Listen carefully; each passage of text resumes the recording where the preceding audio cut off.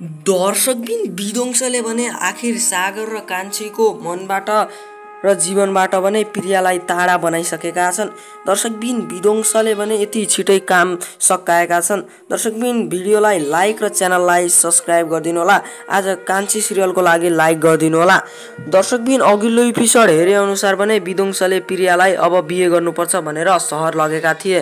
दर्शकबिन सहर जाने भने कारमा गएका थिए। तिनीहरू कहाँ देखेर भने प्रिया भने निकै नै अचम्म भएकी थिइन्। दर्शकबिन उता भने विध्वंसले लिएर घर गएपछि भने घरमा हाम्रो भव्य स्वागत हुनेछ भनेपछि प्रिया भने झन् अचम्मित हुनेछन्।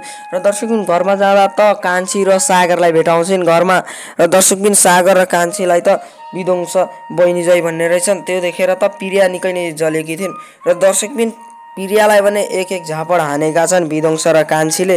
अब दर्शकबिन प्रियाले पनि माफी मागेकी छिन् तर दर्शकबिन अन्तिममा भने कान्छी किन झस्किन् त? दर्शकबिन उता ठुलेले भने चण्डिकालाई धपाइसकेको थियो। अब चण्डिकालाई भने सबै चण्डिकाको घरमा आएर पैसा माग्न लागेका छन्। तेरि आमा त मान्छेलाई पैसा लुट्ने सहर पठाइदिने भनेर पैसा लुट्ने काम गरिरहेकी रहेछ। त्यो पैसा दे भनेर सबै गाउँलेहरू अब चण्डिकाको घरमा जान्छन् र चण्डिका भने अहिले एक्लै छन्। दर्शकबिन यता कान्छीका दाइ अथवा ठुले भने आफ्नै आमा बुबाको भनेको मानेका छन्। अहिले भने उनीहरू मिलेरै बसेका छन्।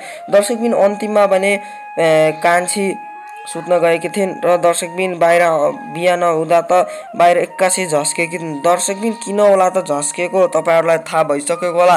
दर्शकबिन अन्तिममा भने प्रियाले प्रहरीहरू ल्याएर आएको हुनुपर्छ किनभने प्रिया त्यसै छोड्दैन भनेर भनिराखेकी थिइन्।